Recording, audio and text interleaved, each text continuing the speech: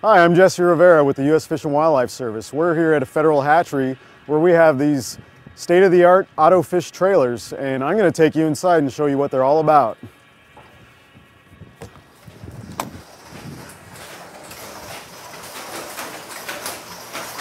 All right, let's go to the front of the trailer where I'll show you how this process works.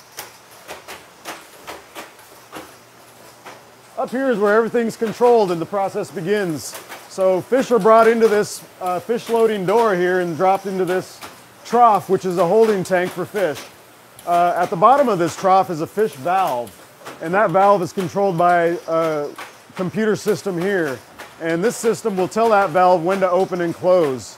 Uh, it works on a contrast between white and black, and we can adjust the number of fish that are sucked up into the sorter system through this computer. So fish are sucked up through this hose and they're led into this entry tray. And this whole system here is a sorter. And this basically will sort fish by the length. And the trailer operator will set up each of these six lines for a specific size range of fish. And that's done at this computer, computer up here. Um, so fish will swim down the two chutes, they're measured, and then they go through these series of tubes where they drop down into these entry trays. Uh, once in these trays, fish are attracted by water flow into these channels. So they'll swim into each channel, and then there's a series of gates and sensors that will monitor the fish as it travels down to this area here. Here we have a camera imaging system, and then a set of foam pads that'll grab and hold each fish for a split second. In that split second, the camera will photograph the fish, and then the computer will determine where the adipose fin is. Tell, and then it will tell the clipper where to drop down and clip the fish off, the, the fin off. And then after that, the camera will take a second photograph and then compare the first photograph to the second photograph. And that way it can uh, determine whether the fin was completely clipped or not. So once that happens, it'll drop the fish down into the chute.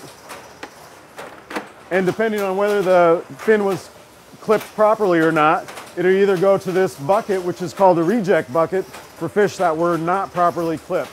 If they were, if the fin was 100% removed, then it will switch the gate and send the fish out to one of the raceways where it'll reside for the until it's released from the hatchery.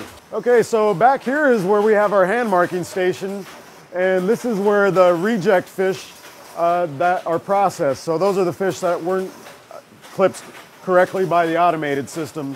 And then they'll mark any fish that are too big or too small for these machines to handle.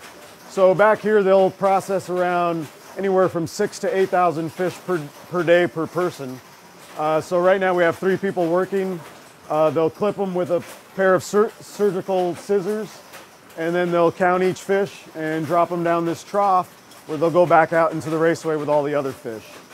The Fish and Wildlife Service fish marking program is responsible for marking fish at 15 different federal hatcheries. We mark around 30 to 35 million fish per year.